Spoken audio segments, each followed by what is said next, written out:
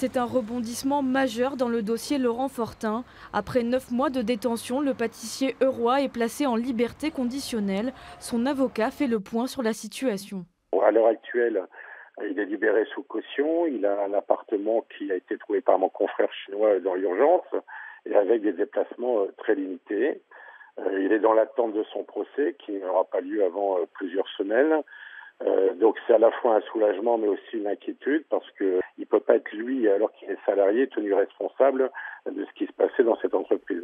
Les élus normands ont également réagi. Hervé Moret, sénateur de l'Eure, avait interpellé plusieurs fois le gouvernement sur cette affaire. Cette mise en liberté conditionnelle est une étape importante. Je forme le vœu que l'innocence de Laurent Fortin soit reconnue et qu'il puisse rentrer rapidement en France. J'espère que la visite du président de la République la semaine prochaine en Chine permettra un dénouement heureux dans les plus brefs délais.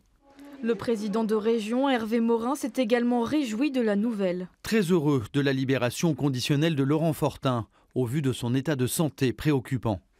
Laurent Fortin a-t-il été libéré pour raison de santé?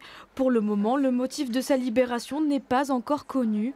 Laurent Fortin travaillait en Chine depuis décembre 2016 pour la chaîne française Farine Bakery. En mars 2017, il est interpellé après un contrôle sanitaire pour usage de produits alimentaires périmés. Rapidement, sa famille s'est mobilisée. Pétition, dénonciation de ses conditions de détention. Si le pâtissier n'est plus derrière les barreaux aujourd'hui, il reste inculpé et ne peut sortir du territoire chinois.